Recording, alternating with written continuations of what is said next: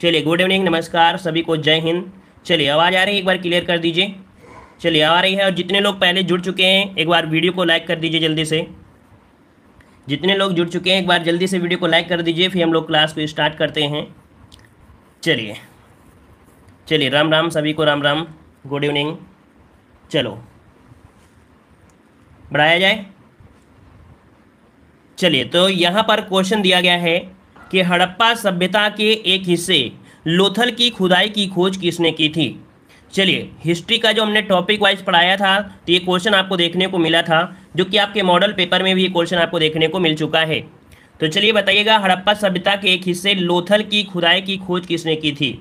यहाँ पर ऑप्शन आ रहा है C number S R Rao कह रहे हैं। चलिए, सभी का जवाब यहाँ पर सही है, बिल्कुल जवाब सही है। एस आर राव ऑप्शन बनेगा। यहाँ पर आपका सी नंबर राइट आपका जवाब हो जाएगा। ठीक है ना? यहाँ पर लोथल, जो कि आप देख सकते हैं कि हड़प्पा कालीन एक बंदरगाह हुआ करता था। ठीक है? ऑप्शन यहाँ पर सी हो जाएगा। और अगला क्वेश्चन दिया है, सिंधु सभ्यता में घोड़े की अस्थियों का अवशेष कहाँ मिला? सिंधु सभ्यता में घोड़े के अस्थियों का अवशेष कहाँ मिला? बनवाली में, चहुदड़ों में सुतकांग डोर में या सुरकोटदा में? चलिए, यहाँ पर जवाब आ रहा है ऑप्शन डी और ऑप्शन सी लेकिन इसका राइट आंसर क्या बनेगा? यहाँ पर बनेगा ऑप्शन डी सुरकोटदा में, ठीक है? ऑप्शन बनेगा आपका यहाँ पर डी नंबर आपका हो जाएगा। ये कहाँ पड़ता है?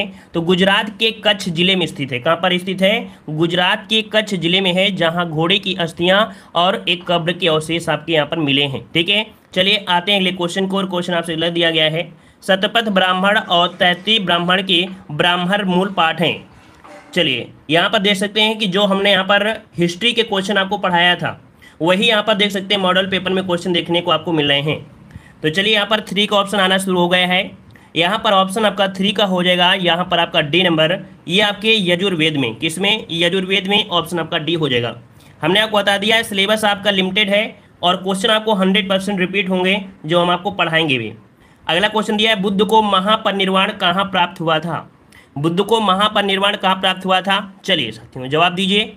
बोध गया कुशीनगर, राजगृह या वैशाली। महापरिनिर्वाण मतलब होता है इनको जो मृत्यु, है ना? यहाँ पर ऑप्शन जो प्राण त्यागने की आपकी थी, यही आपका है।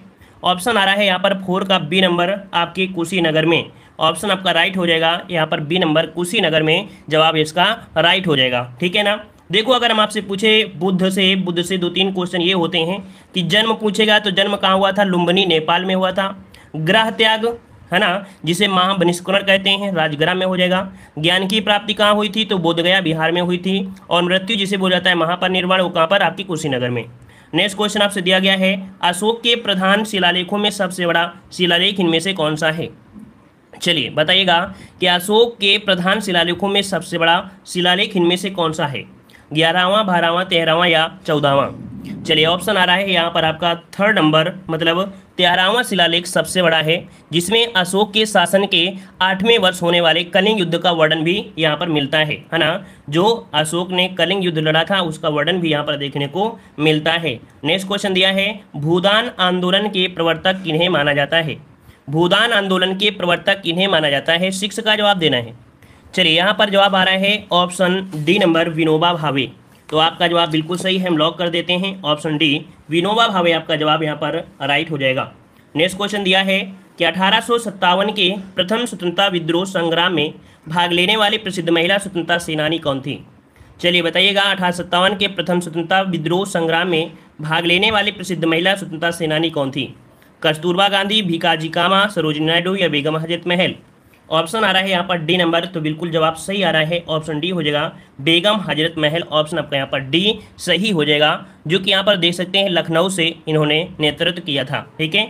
आते हैं अगले क्वेश्चन को, और क्वेश्चन दिया है, महात्मा गांधी भारतीय राष्ट्रीय कांग्रेस के अध्यक्ष किस वर्ष बने थे? महात्मा गांधी भारतीय राष्ट्रीय कांग्रेस के अध्यक्ष किस वर्ष बने थे? चलिए यहाँ पर आठ का जवाब दीजिएगा। आठ का सही आंसर क्या हो जाएगा? जवाब आ रहा है चौबीस मतलब आपका जवाब बिल्कुल सही है। आपने आंसर बिल्कुल सही चुना है। यहाँ पर 1924 में कहाँ पर बेलगांव का जो आपका अधिवेशन हुआ था, है ना? बेलगांव अधिवेशन में इन्होंने भाग लिया था, जो कि चालीसवें, है ना? चालीसवें अध्यक्ष की आपकी चुने गए थे। अगला क्वेश्चन आपसे दिया है, राष्ट्रीय गान सर्वप्रथम कब और कहाँ गाया गया? राष्ट्रीय गान सर्वप्रथम कब और कहाँ गाया गया? चलिए, जवाब दीजिए। गुड इवनिंग गुड इवनिंग नमस्कार गुड इवनिंग चलिए टाइम टेबल आपको दिया गया है टाइम से आया करिए। चलिए, राष्ट्रीय गान सर्वप्रथम कब और कहाँ गाया गया? नाइन का ऑप्शन देना है। और नाइन का ऑप्शन आ रहा है यहाँ पर आपका डी नंबर चलिए, और बताइए कोई बी नंबर चलिए बी नंबर आ रहा है, किसी का ए नंबर आ रहा है, सत्ताईस, उन्नीस सौ ग्यारह, छब्बीस, उन्नीस सौ इकतीस। जवाब क्या बनेगा? तो ऑप्शन यहाँ पर बन जाएगा ए नंबर दिसंबर, सत्ताईस, उन्नीस सौ ग्यारह में कलकत्ता में गाया गया था, ठीक है ना? और यह पहली बार भारतीय राष्ट्रीय कांग्रेस सम्मेलन जो हुआ था, यह आपके कलकत्ता में ऑप्शन आपका यहाँ पर ए जवाब हो जाएगा। नेक्स्ट क्वेश्चन दिया है निम्नलिखित में से कौन एक भारतीय राष्ट्रीय आंदोलन में क्रांतिकारी नेता नहीं थे? चलिए बताइएगा कि कौन एक भारतीय राष्ट्रीय आंदोलन में क्रांतिकारी नेता नहीं थे? चंद्रशेखर आज़ाद, सूर्यसेन, भगत सिंह, गोपाल कृष्ण गोखले। चलिए दस का जवाब देना है। यहाँ पर जवाब आ रहा है ऑप्शन ए और ऑप्शन डी। तो देखो यहाँ पर नेता के रूप में पूछा गया है जो कि क्रांतिकारी नेता आपके कौन नहीं रहे हैं? तो गोपाल कृष्ण गोखले, ये क्रांतिकारी नेता आपके नहीं रहे हैं। इसका राइट आंसर क्या बनेगा? डी नंबर आपका जवाब राइट हो जाएगा। ठीक है ना? याद रहेगा। और ये अगर पूछा जाए कौन थे तो आपकी गोपाल कृष्ण गोखले क्वेश्चन पूछा जाता है कि महात्मा गांधी के राजनीतिक गुरु कौन थे? है ना? तो महात्मा गांधी के राजनीतिक गुरु कौन थे? तो आपके यहाँ पर गोपाल कृष्ण गोखले, इसका जवाब आपका राइट हो जाएगा। ठीक है? चलिए आते हैं अगले क्वेश्चन को और क्वेश्चन दिया है। भारत ने पृथ्वी के धरातल का कितना प्रतिशत घेरा हुआ है? अर्थात तो जो भारत है, भारत का जो प्रतिशत है, धरातल का वो कितना है? चलिए ग्यारह का जवाब दीजिए। चलिए ग्यारह का ऑप्शन आ रहा है D number two point four बिल्कुल जवाब सही है। कई बार आपने पढ़ा भी होगा। सभी का जवाब लगभग सही है ऑप्शन आपका बनेगा डी टू पॉइंट ज़ीरो प्रतिशत भाग ये घेरे हुए हैं, जो कि आपका भारत में है है ना? अगर पूछे कि जनसंख्या के हिसाब से, है ना? अगर पूछे कि जनसंख्या की दृष्टि से भारत जो है, पृथ्वी के भूभाग का कितना है तो सत्रह ये आपका क्या है? जनसंख्या के हिसाब से है। नेक्स्ट क्वेश्चन दिया है, भारत का विश्व में क्षेत्रफल के आधार पर कौन सा स्थान है? चलिए, भारत का विश्व में क्षेत्रफल के आधार पर कौन सा स्थान है? दूसरा, चौथा, छठा या सातवां। चलिए, जवाब आ रहे हैं यहाँ पर आपका डी नंबर चलिए डी नंबर आ रहा है। तो जवाब बिल्कुल सही है। यहाँ पर सातवां स्थान है। कितना है? तो सातवां स्थान है, जो कि आपके क्षेत्रफल के हिसाब से। पहला देश आपका है कौन सा? रूस, फिर कनाडा, चीन, अमेरिका, ब्राज़ील, ऑस्ट्रेलिया, है ना? फिर आपका सातवां स्थान आता है किसका? भारत का आता है। नेक्स्ट क्वेश्चन दिया गया है। निम्नलिखित केंद्र शासित प्रदेशों में या क्षेत्रों में सर्वाधिक बड़ा आकार किसका है? चलिए, सबसे बड़ा क्षेत्र जो आपका है वो किसका है? यहाँ पर जवाब दीजिए, सही जवाब क्या हो जाएगा? चलिए, जल्दी से जवाब दीजिए, यहाँ पर सही जवाब क्या हो जाएगा? चलिए, यहाँ पर सही जवाब क्या हो जाएगा? चलिए तो देखो, यहाँ पर ऑप्शन के अनुसार आपको बताना है, ऑप्शन के अनुसार आपको बताना है। यहाँ पर देखो, ऑप्शन आपका हो जाएगा, डी नंबर आपका पुदुचेरी हो जाएगा। क्या हो जाएगा इसका? आपका पुदुचेरी हो जाएगा, जवाब इसका सही हो जाएगा, पुदुचेरी हो जाएगा। देखो, यहाँ पर देखो, जो अभी अभी आपका अपडेट आया है, जो आपका अभी अभी अपडेट है, उसमें से अगर पूछे सबसे पहले स्थान किसका आता है तो जम्मू और कश्मीर का देखो ऑप्शन में ऐसे तो दिया नहीं गया है। ऑप्शन में तो इतना दिया नहीं गया है। तो जम्मू कश्मीर जो आपका है, वो आपसे पहला स्थान आता है। इस ऑप्शन के अनुसार जो पूछा गया है, वो आपका है पुदुचेरी। यहाँ पर ऑप्शन जो आपका बन जाएगा डी नंबर पुदुचेरी आपका जवाब राइट हो जाएगा। चलिए, अगला क्वेश्चन दिया है, भारतीय प्रायद्वीप की सबसे ऊँची चोटी कौन सी है? भारतीय प्रायद्वीप की सबसे ऊँची चोटी यहाँ पर कौन सी है? ये आपको बताना है। चलिए, चौदह का जवाब इनमें से क्या हो जाएगा? चलिए, चौदह का जवाब इनमें से क्या बन जाएगा? तो ऑप्शन आ रहा है यहाँ पर आपका बी नंबर। देखो, ये प्रायद्वीप की सबसे ऊँची चोटी है अन्नाई मुड़ी है ना कौन है? तो आपकी अन्नाई मुड़ी है, जो कि आपकी अन्नामलाई पहाड़ी की सबसे ऊँची चोटी है। इसका राइट आंसर क्या बन जाएगा? ऑप्शन बन जाएगा, यहाँ पर आपका बी नंबर, आपका जवाब राइट हो जाएगा। ठीक है? चलिए नेक्स्ट क्वेश्चन आपसे दिया है, निम्नलिखित में से कौन सी झील मणिपुर में स्थित है? कौन सी झील मणिपुर में स्थित है? भीमताल, लोकटक, मिरिक या सेंचल? चलिए, यहाँ पर आपका जवाब सही क्या हो जाएगा? चलिए, जवाब यहाँ पर आने शुरू हो गए हैं पंद्रह नंबर में और ऑप्शन यहाँ पर आ रहा है ऑप्शन बी आ रहा है। ये मणिपुर की जो आपकी झील है, आपकी लोकटक झील है, जो कि कैसी झील है? ये आपकी मीठे पानी की झील है। कैसी है? ये पूर्वोत्तर भारत की, देखिए सेवन सिस्टर जो आपके हैं उनमें से सबसे बड़ी झील देखा जाए पूर्वोत्तर भारत की तो आपकी मीठे पानी की झील कौन है? लोकटक झील है। और इसी झील के बीच में एक आपका राष्ट्रीय उद्यान है, जिसका नाम है केबुल नाम जाओ, है ना? केबुल केबुल नाम जाओ, जिसे कहा जाता है कि विश्व का तैरता हुआ एक राष्ट्रीय उद्यान किसमें है? तो आपकी लोकटक झील में है, केबुल नाम जाओ है। नेक्स्ट क्वेश्चन दिया है, भारतीय अर्थव्यवस्था का मेरुदंड कौन सा क्षेत्र है? भारतीय अर्थव्यवस्था का मेरुदंड कौन सा क्षेत्र है? चलिए, यहाँ पर आपका सही जवाब क्या बन जाएगा? सही जवाब क्या बन जाएगा? इसका राइट आंसर सोलह का रहा है। यहाँ पर आपका देखो, मेरुदंड दिया है तो ऑप्शन डी हो जाएगा, कृषि क्षेत्र हो जाएगा। क्या हो जाएगा? कृषि क्षेत्र, इसका ऑप्शन बन जाएगा डी नंबर आपका जवाब यहाँ पर राइट हो जाएगा, ठीक है?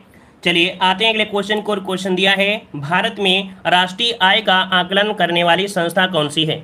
भारत में राष्ट्रीय आय का आकलन करने वाली संस्था कौन सी है? रिज़र्व बैंक है क्या? चलिए, योजना आयोग है, वित्त आयोग है, कौन सा है? चलिए, सत्रह का ऑप्शन बन जाएगा, यहाँ पर आपका डी नंबर यहाँ पर है केंद्रीय सांख्यिकी संगठन ऑप्शन क्या बनेगा? डी नंबर है, ये राष्ट्रीय आय का आकलन करती है, ठीक है? चलिए, आते हैं अगले क्वेश्चन को क्वेश्चन दिया है, निम्नलिखित में से किस क्रांति ने तिलहनों के उत्पादन में वृद्धि उत्पन्न की है? तिलहन उत्पादन आपसे पूछा गया है, कौन सी क्रांति से संबंधित है? यहाँ पर तिलहन से संबंधित आपकी है पीली क्रांति। है ना? पीली क्रांति का संबंध किससे है? तो आपके तिलहन उत्पादन से आपकी है। हरित क्रांति तो आपकी खाद्यान्न उत्पादन से संबंधित है। श्वेत क्रांति जो आपकी है वो किससे है? तो श्वेत क्रांति दुग्ध उत्पादन से संबंधित आपकी है। क्लियर है ना इतना पॉइंट क्लियर है? अच्छा स्वर्ण क्रांति अगर पूछे, स्वर्ण क्रांति किससे संबंधित है? तो ये संबंधित है बागवानी से। किससे संबंधित है? बागवानी से संबंधित है। ठीक है? चलिए अगला क्वेश्चन दिया है। भारत की बारहवीं पंचवर्षीय योजना का मुख्य उद्देश्य क्या था? भारत की जो बारहवीं पंचवर्षीय योजना थी, इसका उद्देश्य क्या था? यहाँ पर उन्नीस नंबर में। चलिए, उन्नीस नंबर में। तो देखो यहाँ पर सबसे तेज मतलब तेज, सतत और अधिक सम्मिलित विकास। इसका ऑप्शन बनेगा यहाँ पर आपका डी नंबर जवाब आपका कितने सदस्यों की आवश्यकता होती है? एक सहकारी समिति के गठन न्यूनतम कितने सदस्यों की आवश्यकता होती है? दो, पाँच, सात या दस? इसका राइट आंसर क्या बन जाएगा? तो याद रखिए, इसका राइट आंसर आपका होता है, यहाँ पर आपका डी मतलब दस सदस्यों की आवश्यकता होती है। सहकारी समिति लोगों का एक ऐसा संघ है, याद रखिए, सहकारी समिति है क्या? तो सहकारी समिति लोगों का एक ऐसा संघ है जो अपने पारंपरिक लाभ, जैसे सामाजिक हो गया, आर्थिक हो गया, सांस्कृतिक हो गया, इनको स्वेच्छा पूर्वक सहयोग करते हैं। ठीक है? तो ऑप्शन क्या हो जाएगा डी नेक्स्ट क्वेश्चन दिया है। भारतीय संविधान अर्थात संविधान सभा द्वारा भारतीय संविधान को कब पारित किया गया था? चलिए बताइएगा कि संविधान सभा द्वारा भारतीय संविधान को कब पारित किया गया था। चलिए कब पारित किया गया था? जवाब दीजिएगा। जितने लोग बाद में जुड़े हैं तो सब लोग यहाँ पर भाई वीडियो को लाइक भी कर दीजिएगा। अगर पसंद आ रहा है, पसंद आ रहा है तो दिल से वीडियो को लाइक ज़रूर करिएगा। यहाँ पर देख सकते हैं, संविधान सभा द्वारा भारतीय संविधान को कब पारित किया गया था। चलिए किस को ऑप्शन यहाँ पर बन जाएगा। ऑप्शन बी 26 नवंबर उन्नीस सौ उनचास को ये पारित किया गया था। और इसी को एक शब्द और बोला जाता है, अंगीकृत। क्या बोला जाता है? अंगीकृत भी इसे बोला जाता है, अंगीकृत भी बोला जाता है कि कब अंगीकृत किया गया या कब बनकर तैयार हुआ। तो ऑप्शन क्या हो जाएगा? बी नंबर ठीक है ना? और अगर ये पूछ लेता कब लागू हुआ था तो लागू जो आपका पूर्ण रूप से लागू हुआ, वो कब हुआ था? तो 26 जनवरी 1950 है ना? 26 जनवरी 1950 इसको पूर्ण रूप से आपका लागू हुआ था, है ना? चलिए, आते हैं अगले क्वेश्चन को। क्वेश्चन आपसे दिया है, संविधान सभा के पहले अध्यक्ष कौन थे? संविधान सभा के पहले अध्यक्ष इनमें से कौन थे? चलिए यहाँ पर जवाब देना है संविधान सभा के पहले अध्यक्ष कौन थे? तो बाईस का ऑप्शन बनेगा यहाँ पर B number doctor Sachidanand Sinha doctor Sachidanand Sinha जो थे, वो आपके पहले अध्यक्ष थे और इन्हें अस्थायी अध्यक्ष भी कहा जाता है, ठीक है? अस्थायी अध्यक्ष ने कहा जाता है है ना? और यहाँ पर एक पॉइंट और शब्द लिया जाता है कि जब संविधान का उद्घाटन हुआ था, संविधान सभा का जब उद्घाटन हुआ था तो उसके अध्यक्ष कौन थे? तो इसका भी जवाब क्या हो जाएगा? B number. क्योंकि जब उद्घाटन हुआ था कब? तो पहली जो सभा हुई थी, उसी में तो आपके अध्यक्ष बनाए गए थे ना? तो उद्घाटन समिति के अध्यक्ष भी कौन थे आपके? तो डॉक्टर सचिदानंद सिन्हा ही थे। नेक्स्ट क्वेश्चन आपसे अगला दिया गया है। कह रहा आपसे यहाँ पर, कह रहा है, भारत का एकमात्र राज्य जहाँ सामान्य कोड का प्रावधान है। आपने सुना होगा, एक समान नागरिक संहिता, सिविल कोड। तो यहाँ पर बताते हैं कि इसका जवाब कौन सा बन जाएगा? तो आपका जवाब आ रहा है तेईस नंबर तेईस नंबर ऑप्शन आपका ए नंबर गोवा, है ना? कौन सा है? तो ये आपका गोवा है, जहाँ पर समान नागरिक संहिता अथवा समान आचार संहिता का यहाँ पर आपका जुड़ा हुआ है है ना? तो यहाँ पर ऑप्शन क्या हो जाएगा? ए हो जाएगा। कुल कह सकते हैं, जो सभी धर्म के लोगों के लिए समान रूप से लागू होता है और भारत का एकमात्र राज्य गोवा में समान सिविल कोड का प्रावधान है। नेक्स्ट क्वेश्चन आपसे अगला दिया गया है, इनमें से कौन भारत का कार्यवाहक राष्ट्रपति नहीं था? इनमें से कौन भारत का कार्यवाहक राष्ट्रपति नहीं था? वीवी गिरी, डॉक्टर जाकिर हुसैन, न्यायमूर्ति हिदायतुल्ला या बी डी जत्ती। तो चौबीस का ऑप्शन क्या बन जाएगा? तो देखिए यहाँ पर चौबीस का ऑप्शन बी हो जाएगा डॉक्टर जाकिर हुसैन। कौन थे? डॉक्टर जाकिर हुसैन, जो कि भारत के तीसरे राष्ट्रपति थे। ठीक है, तीसरे राष्ट्रपति थे। ऑप्शन आपका बी हो जाएगा। नेक्स्ट क्वेश्चन दिया गया है, श्री रामनाथ कोविंद भारत के राष्ट्रपति रहे हैं, कौन से नंबर के राष्ट्रपति रहे हैं? चलिए पच्चीस का जवाब क्या बन जाएगा? चलिए सोलह, चौदह, बारह या ग्यारहवा। तो ऑप्शन यहाँ पर आपका बी हो जाएगा। यहाँ पर चौदहवें नंबर के आपके राष्ट्रपति थे ऑप्शन बी आपका राइट हो जाएगा। नेक्स्ट क्वेश्चन दिया है कि निम्न में से कौन सी अधिस राशि है? कौन सी अधिस राशि है? छब्बीस का जवाब दीजिए साइंस का क्वेश्चन है। पूछा गया है अधिस राशि। और वे राशियाँ जिनका केवल परिमाण होता है, दिशा नहीं होती हैं, उन्हें अधिस राशियाँ कहते हैं। जो कि आंसर यहाँ पर आपका आ चुका है ऑप्शन यहाँ पर बन जाएगा ए नंबर कार्य। जो कार्य है, वो आपकी अधिस राशि है। कार्य के साथ साथ जैसे द्रव्यमान, दूरी, समय, चाल, दाब, शक्ति, आवेश, विद्युत धारा, विभव, ताप, आयतन, ये सब आपकी क्या होती हैं? तो आपकी अधिस राशियाँ ही होती हैं। ठीक है ना? अगला क्वेश्चन दिया गया है, निम्न में से कौन सी प्रक्रिया एक रासायनिक परिवर्तन है? यहाँ पर ऐसी एक प्रक्रिया बताना है, जिसका एक रासायनिक परिवर्तन होता है। रासायनिक परिवर्तन यहाँ पर देखो दिया है, पौधों में प्रकाश संश्लेषण, मोम का पिघलना, पानी का संगल संगलन और पौधों में वात्सर्जन ऑप्शन आपका ए आ रहा है, कह रहे हैं पौधों में प्रकाश संश्लेषण। तो बिल्कुल जवाब सही है, एक रासायनिक क्रिया होती है, पौधों में प्रकाश संश्लेषण, ये नंबर आपका राइट हो जाएगा। नेक्स्ट क्वेश्चन दिया है, एक नाभिक में प्रोटॉन और न्यूट्रॉन को बांधने वाले बल को क्या कहते हैं? जो आपका नाभिक होता है और नाभिक में प्रोटॉन और जो आपका न्यूट्रॉन होते हैं, इनको जो बांधे रहते हैं, उस बांधने वाले बल को क्या कहते हैं? तो ये होता है प्रबल नाभिकी बल। क्या होता है? ये होता है प्रबल नाभिकी बल होता है। इसका राइट आंसर क्या हो जाएगा? डी जिसे हम लोग बोल देते हैं न्यूक्लियर फोर्स क्या बोलते हैं इसे? न्यूक्लियर फोर्स कहा जाता है न्यूक्लियंस ठीक है? तो ऑप्शन आपका डी हो जाएगा। नेक्स्ट क्वेश्चन दिया गया है। कि आर्नियोथोलॉजी का संबंध किससे है? आर्निथोलॉजी का संबंध किससे है? आर्निथोलॉजी का संबंध किससे है? तो ये जीव विज्ञान की एक शाखा है, जिसके अंतर्गत क्या किया जाता है? पक्षियों का अध्ययन किया जाता है, ठीक है?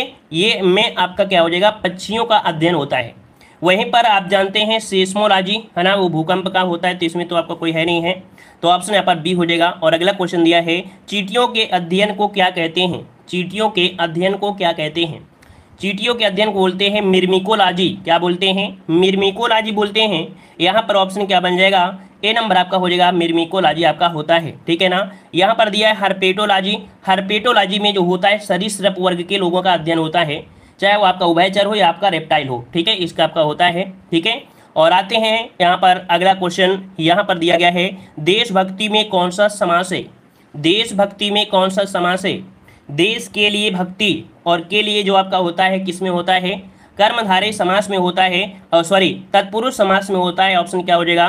यहाँ पर आपका सी हो जाएगा, यहाँ पर तत्पुरुष समास हो जाएगा, देश के लिए भक्ति, क्या बनेगा? देश के लिए भक्ति, इसका राइट आंसर आपका सी हो जाएगा। क्लियर है ना? मतलब के लिए जो आपका होता है संबंध तत्पुरुष समास हो जाएगा, ठीक है? अगला क्वेश्चन दिया है, प्रागैतिहासिक में किस उपसर्ग का प्रयोग हुआ है? प्रागैतिहासिक में किस उपसर्ग का प्रयोग हुआ है?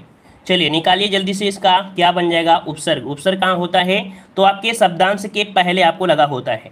अगर इसका आप निकालेंगे तो आपका बनेगा क्या? प्राक निकलेगा। क्या निकलेगा? प्राक। ऑप्शन क्या बनेगा? यहाँ पर ए नंबर आपका राइट हो जाएगा। नेक्स्ट क्वेश्चन दिया है, तुलसीदास किसकी कविता है? तुलसीदास किसकी कविता है? मुक्तिबोध, अज्ञे, हरिवंश राय बच्चन, सूर्यकांत त्रिपाठी, निराला। चलिए, तुलसीदास, ये आपके ऑप्शन बनेगा डी आपके सूर्यकांत त्रिपाठी निराला की है। ऑप्शन बनेगा डी नंबर, इसका जवाब बनेगा डी तुलसीदास, जो कि छायावादी के सलाका पुरस्कार, जो कि आपके सूर्यकांत त्रिपाठी निराला का आपका है। ऑप्शन आपका डी हो जाएगा। नेक्स्ट क्वेश्चन है, बहिष्कार का संविच्छेद क्या होता है? बहिष्कार का संविच्छेद क्या हो जाएगा? बहिष्कार। तो इसे आप तोड़िए, जल्दी से जब तोड़ेंगे तो हमने बताया था, आधा सा जो आपका है, ये आपके विसर्ग में परिवर्तन हो जाता है। और विसर्ग में परिवर्तन हो जाता है तो वही धन कार आपका हो जाएगा ऑप्शन सी इसका राइट हो जाएगा सी नंबर जो कि आपकी क्या है? आपका विसर्ग संधि है, ठीक है? यहाँ पर एक रूल होता है, विसर्ग संधि के पहले इकार या उकार, है ना, आते हैं तो यहाँ पर कह सकते हैं विसर्ग आपका हो जाता है। नेक्स्ट क्वेश्चन है, निम्न में से पुल्लिंग शब्द का चयन करना है। यहाँ पर बताइए कौन सा पुल्लिंग शब्द आपका है? पहिया, लिखावट, पखावज या मझधार। यहाँ पर चालीस नंबर बताइए। तो देखो, पहिया कैसा है? तो कैसा है मतलब आपका जवाब? ए नंबर ही आपका राइट हो जाएगा। पहिया जो आपका है, आपका कैसा है? पुलिंग आपका हो जाएगा। ठीक है? यहाँ पर आपका दिया गया है गद्यांश और बारिश के लिहाज से वह साल ठंडन गोपाल था। मतलब यहाँ पर बारिश के बारे में बोला गया है। ठीक है? बारिश के बारे में है और पढ़ेंगे तो आप आसानी से कर सकते हैं। चलिए देख लेते हैं यहाँ पर बिना पढ़े हुए क्या हम सॉल्व कर सकते हैं। तो बारिश के लिहाज से वह साल ठन गोपाल था। वाक्य का भाव जो पूछा गया है, इसमें से आपका भाव जो आपका है मतलब कह सकते हैं, बारिश के लिहाज से वह ठन ठन गोपाल, जब किसी के पास कुछ नहीं होता है तो बोलते हैं बारिश नहीं हुई थी, इसलिए बोलते हैं ठन ठन गोपाल, ठीक है? अगला दिया गया है, सावन सिर पर था, इस कथन का आशय कि सावन कह सकते हैं सिर पर था, क्या मतलब पास में था या दूर था? तो यहाँ पर कह सकते हैं सिर पर मतलब होता है आ चुका था, है ना? सिर पर था मतलब क्या होता है? आ चुका था ऑप्शन यहाँ पर अब सी हो जाएगा। अगला यहाँ पर दिया गया गद्यांश के हिसाब से दिया है, चलिए। यहाँ पर बताइएगा कि झी झींसियाँ शब्द का भाव क्या होता है? परेशान मत होना, ये गद्यांश क्वेश्चन है, पूरा पढ़ेंगे तो पूरा तरीके से आ जाएगा। तो यहाँ पर अगर आपको मिलता है, इसलिए हम आपको बता दे रहे हैं, यहाँ पर जो ऑप्शन आपका बनेगा, वो आपका हो जाएगा कौन सा? बहुत हल्की बूंदाबांदी होता है, झींसियाँ शब्द मतलब होता है किसके लिए करते हैं? जब बहुत हल्की बूंदी होती है, ठीक है? चलिए, आइए अगले क्वेश्चन को। कह रहा है, हम जैसे ढीलों ने एक तरफा तौर पर रेनी डे मनाने का फैसला लिया, वाकई में लेखक ने अपनी किस विशेषता को बताया है? मतलब ये भी आपका उसी से जुड़ा हुआ आपका है। मतलब यहाँ पर पढ़ाई में पिछड़े से है, ठीक है? कल चलिए कोई बात नहीं, ये आपका गद्यांश से जुड़ा हुआ था। यहाँ पर एक आपकी पंक्ति और दी गई है। कुल मिला के एक गद्यांश और आपका दिया गया है, जो कि आपकी नींद से दिया है। इसमें से छोटा सा बिल्कुल गद्यांश है। पढ़ लेते हैं, इसके बाद इसके सही सही आंसर लगाने का प्रयास करेंगे। अब ना गहरी नींद में तुम सो सकोगे। गीत गाकर मैं जगाने आ रहा हूँ। अतल अस्ताचल तुम्हें तुम्हें जाने ना दूँगा। अरुण उदाचल सजाने आ रहा हूँ। कल्पना में आज तक उड़ते रहे तुम। साधना से सिरकर मुड़ते रहे तुम। अब तुम्हें आकाश में उड़ने ना दूँगा। आज धरती पर बरसाने आ रहा हूँ। ये पंक्ति है आपकी सोहालाल द्विवेदी की है, ठीक है? और यहाँ पर दे सकते हैं क्वेश्चन आपका दिया गया है कि गहरी नींद में सोने का अर्थ यहाँ पर क्या बोला गया है? गहरी नींद का सोने का इसका अर्थ जो आपका निकलेगा, वो आपका हो जाएगा बेखबर होना। क्या होता है? बेखबर होना, किसी प्रकार की टेंशन नहीं होना ऑप्शन सी नेक्स्ट क्वेश्चन दिया है कि कभी लोगों को कहाँ नहीं जाने दे रहा है। कहाँ नहीं जाने दे रहा है? तो कह सकते हैं, पतन की राह पर जो पतन की ओर जा रहे हैं, उनको नहीं जाने दे रहा है। ऑप्शन आपका डी हो जाएगा। और अगला क्वेश्चन दिया गया है कि किस तरह के व्यक्तियों को संबोधित कर रहा है? कवि किस तरह के व्यक्तियों को संबोधित कर रहा है? तो यहाँ पर आपका अड़तालीस में मतलब कि जो जीवन की कठोर वास्तविकताओं से बेखबर हैं, जो जीवन की कठोर वास्तविकताओं से बेखबर हैं, उनकी यहाँ पर संबोधित कर रहा है। और अगला दिया है कि कब लोगों को क्यों जगाना चाहता है, क्यों जगाना चाहता है? ताकि मनुष्यों में गतिशीलता आ सके और वे प्रगति के पथ पर आगे बढ़ सकें। इसका ऑप्शन आपका बी हो जाएगा। अगला क्वेश्चन दिया है कि अतल अस्ताचल तल तुम्हें जाने ना दूँगा, पंक्ति में कौन सा अलंकार है? चलिए बताइए, अतल अस्ताचल तुम्हें जाने ना दूँगा, पंक्ति में जो अलंकार है, वो कौन सा अलंकार है गद्यांश से ही निकाला गया है। तो देखो यहाँ पर आपके आ शब्द का सॉरी अवर्ण की आवृत्ति हो रही है। और इसके अनुसार से ऑप्शन क्या हो जाएगा? अनुप्रास अलंकार आपका जवाब हो जाएगा डी नंबर नेक्स्ट क्वेश्चन दिया है कि नेल्सन मंडेला विश्व मानवतावादी पुरस्कार किसे दिया गया? नेल्सन मंडेला विश्व मानवतावादी पुरस्कार किसे दिया गया? यहाँ पर आपका इकसठ का ऑप्शन बन जाएगा, कौन सा? राइट तो इकसठ का जवाब यहाँ पर आपका सही हो जाएगा, सही हो जाएगा कौन सा भाई? चलिए करंट अफेयर का क्वेश्चन आपका है। करंट अफेयर से आपके क्वेश्चन आपके हैं। तो यहाँ पर आपका इकसठ का ऑप्शन बी हो जाएगा। ये हैं आपके रवि गायकवाड़। कौन है? रवि गायकवाड़ हैं। इन्हें नेल्सन मंडेला विश्व मानवतावादी पुरस्कार दिया गया ऑप्शन बी नेक्स्ट क्वेश्चन है, भारतीय सेना द्वारा ह्यूमन राइट सेल का प्रमुख इन्हें बनाया गया है? ये बताइएगा कि भारतीय सेना द्वारा ह्यूमन राइट सेल का जो बनाया गया है, प्रमुख वो किसे बनाया गया है? ये है आपकी गौतम चौहान। ऑप्शन इसका डी हो जाएगा गौतम चौहान, ठीक है? चलिए, काफ़ी लोगों के करंट अफेयर की क्वेश्चन अच्छे जाते हैं। कह रहा है किस राज्य ने ग्रेड फोर्थ है ना ये कर्मचारियों को खादी के कपड़े भेंट करने का फैसला किया है। खादी के कपड़े भेंट करने का फैसला किया है जो ग्रेड फोर के लोग हैं, ये किस राज्य सरकार ने तो थ्री का ऑप्शन सॉरी तिरसठ का ऑप्शन आपका हो जाएगा। यहाँ पर आपका बी नंबर आपके असम सरकार है, ठीक है? बी नंबर असम सरकार। अगला है, गोवा मुक्ति दिवस कब मनाया जाता है? गोवा मुक्ति दिवस कब मनाया जाता है? यहाँ पर चौसठ का जवाब आपको याद होगा। आपके 19 दिसंबर ऑप्शन आपका हो जाएगा ए नंबर ठीक है? अगला क्वेश्चन आपसे दिया है कि अर्जेंटीना में फुटबॉल खेलने वाली पहली ट्रांसजेंडर महिला कौन सी है? चलिए बताइएगा।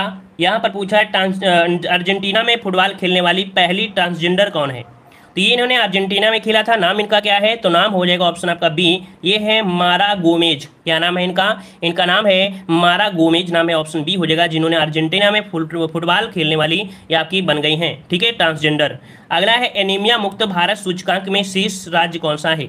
एनीमिया मुक्त भारत सूचकांक। इसमें से जो आपका शीर्ष स्थान है, आपको बता दें तो इन ऑप्शन में ऐसा कोई नहीं है, जबकि पहला स्थान आपके यहाँ पर एमपी का है, ठीक है? दूसरा स्थान आपके उड़ीसा का है और तीसरा स्थान आपका हिमाचल प्रदेश का है।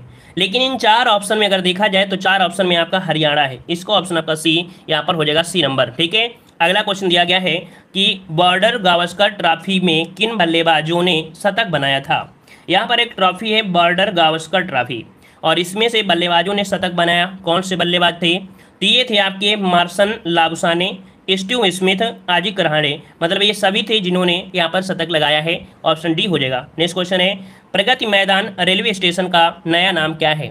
चलिए बताइएगा, प्रगति मैदान रेलवे स्टेशन का नया नाम इनमें से कौन सा है?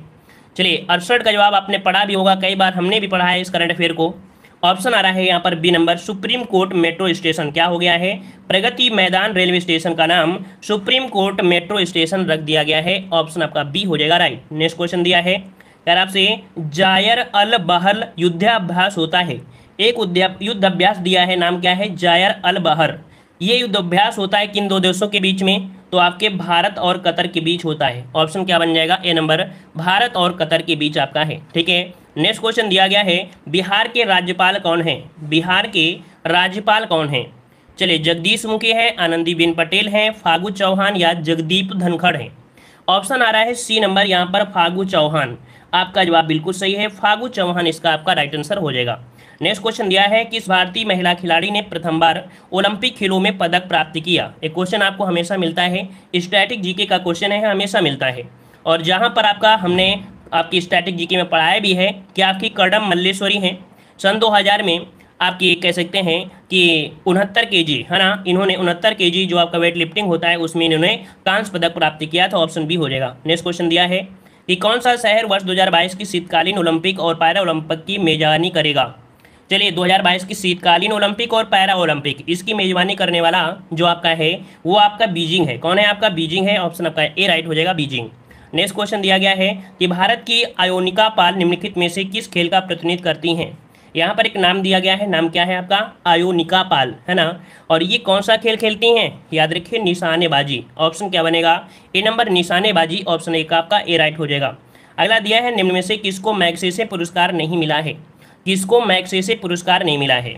देखो यहाँ पर इला भट्ट को भी मिला है, जयप्रकाश नारायण को भी दिया गया है, जोगिन जोकिन अरपुथम को भी दिया है, लेकिन विश्व मोहन भट्ट को मैक्सेसी पुरस्कार अभी तक नहीं दिया है। ऑप्शन बनेगा यहाँ पर आपका सी नंबर। नेक्स्ट क्वेश्चन दिया है किसे पद्म श्री पुरस्कार से सम्मानित नहीं किया गया है? किसे पद्म श्री श्री पुरस्कार से सम्मानित नहीं किया गया है? तो यहाँ पर आपके देखो, विद्यावालन को भी दिया है, युवराज सिंह को, मोहम्मद अली बेग को भी। लेकिन रघुनाथ मालेशकर को यहाँ पर पद्म श्री पुरस्कार अभी तक नहीं दिया गया है, ऑप्शन बी हो जाएगा। और अगला क्वेश्चन दिया है कि अशोक लीलैंड के पूर्व सीईओ और एमडी का क्या नाम है, जिन्होंने रॉयल एनफील्ड के सीईओ के रूप में कार्यभार संभाला है। अशोक लीलैंड, आपने सुना होगा जो आपके ट्रक वगैरह चलते हैं रास्ते में, है ना? बहुत बड़ी कंपनी आपकी है ट्रक की, है ना? तो अशोक लीलैंड के पूर्व सीईओ और एमडी का क्या नाम है, जिन्होंने रॉयल एनफील्ड के सीईओ के रूप में कार्यभार संभाला है? इनका नाम क्या है? ऑप्शन ए हो जाएगा विनोद के दसारी। क्या नाम है? विनोद के दसारी। ऑप्शन आपका ए राइट हो जाएगा। अगला क्वेश्चन दिया गया है। यहाँ पर दिया है, पंडित मदन मोहन मालवी के पोते, न्यायमूर्ति गिरधर मालवी हाल ही में किस प्रसिद्ध विश्वविद्यालय संस्थान के कुलपति के रूप में नियुक्त किए गए हैं? तो देख सकते हैं, नाम से अगर आपको याद हो, ये कौन से विश्वविद्यालय के थे मदन मोहन मालवी अगर आपको ये याद होगा तो आप जवाब दे सकते हैं आसानी से। तो ऑप्शन आ रहा है बीएचयू बिल्कुल जवाब सही है। यहाँ पर ऑप्शन बी हो जाएगा। बनारस हिंदू विश्वविद्यालय के यहाँ पर कुलपति आपके, अर्थात चांसलर नियुक्त किए गए हैं। ठीक है? इससे आपको याद होगा मदन मोहन मालवीय से, क्योंकि इन्होंने यहाँ पर बनवाया था। ठीक है? अगला क्वेश्चन आपसे दिया गया है। यार उत्तर प्रदेश में सबसे कम क्षेत्रफल वाले जनपद कौन सा है? उत्तर प्रदेश में सबसे कम क्षेत्रफल वाला जनपद कौन सा है? यहाँ पर स्टैटिक जीके में हमने यहाँ पर पढ़ाया भी है, आप देख लीजिएगा स्टैटिक जीके के, है ना? जितना हम आपको पढ़ा दें सिलेबस के अनुसार पढ़ाएँगे और आपको उसी से मॉडल पेपर भी आपको देखने को मिल जाएँगे। यहाँ पर आपका जवाब आ रहा है कन्नौज, हाथरस, कन्नौज सॉरी गौतम बुद्ध नगर, ये तो आपका है नहीं है। मतलब यहाँ पर 78 का ऑप्शन बनेगा कौन सा? यहाँ पर डी हो जाएगा। संत रविदास, इन चारों में कौन सा है? संत रविदास है। ऑप्शन आपका डी हो जाएगा। ठीक है? वैसे देखा जाए तो आपका हापुड़ है है ना? क्या है भाई? हापुड़ आपका सबसे छोटा है और सबसे बड़ा जो आपका है लखीमपुर खीरी है, जो कि क्षेत्रफल के हिसाब से। अगला क्वेश्चन आपसे दिया गया है। कह रहे देश मतलब उत्तर प्रदेश राज्य का, भारत में क्षेत्रफल की दृष्टि से कौन सा स्थान है? उत्तर प्रदेश राज्य का, भारत में क्षेत्रफल की दृष्टि से कौन सा स्थान है? सेवेंटी नाइन का ऑप्शन क्या बन जाएगा? सेवेंटी नाइन का ऑप्शन आपका यहाँ पर आ रहा है डी नंबर, चौथा स्थान, है ना? चौथा स्थान, सभी को पता होगा। और अगला क्वेश्चन दिया है कि चंद्र वन्यजीव अभ्यारण्य उत्तर प्रदेश के किस ज़िले में स्थित है? चंद्र वन्यजीव आपसे पूछा गया है है ना? और ये आपका स्थित है, कहाँ पर स्थित है? लगभग सभी का जवाब यहाँ पर सही है, लेकिन आप सभी को जवाब इसका कमेंट बॉक्स में कमेंट करके बताना होगा, ठीक है? तो आज का टेस्ट यहाँ पर कंप्लीट होता है। पूरी तरीके से यहाँ पर आज का जो टेस्ट पेपर रहा है, बहुत ही बेहतरीन रहा है। और हमने बताया है, लगभग यही लेवल रहने वाला है। और ऐसा ही पेपर आपको देखने को मिलेगा एग्ज़ाम में भी। चलिए सभी को जय हिंद, सभी को